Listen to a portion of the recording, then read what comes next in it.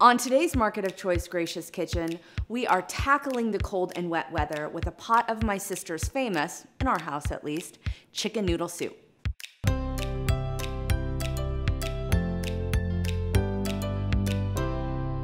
While February is a short month, it can feel really long with the cold temperatures and cold and flu season.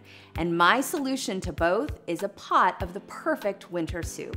And so today we are making something that not only warms us on the inside, but it's chocked full of nutrients too. We start with a medium soup pot on medium-high heat. Add 1 4th cup butter, that's half a stick. Once the butter melts, add 1 half chopped large onion. 3 fourths cup chopped celery, 1 cup julienne carrot, and 2 teaspoons minced garlic. After the veggies start to soften, add 1 teaspoon dry Italian seasoning, 1 tablespoon chopped fresh cilantro, a half a tablespoon of fresh squeezed lemon juice, and salt and pepper to taste. If your mixture begins to stick to the bottom of the pan, just add a little chicken stock.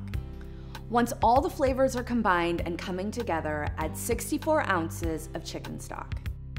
Add three cut up chicken breasts, or I like to add the meat from a rotisserie chicken because there's more nutrients as it comes off the bone.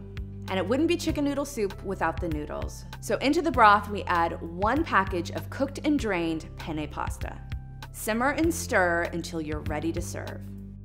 There really isn't anything more comforting during cold winter months than a bowl of homemade chicken noodle soup, and your kids are going to love it too.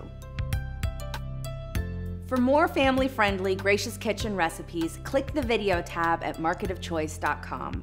Because remember friends, the best place to connect with our kids is in the car and in the kitchen.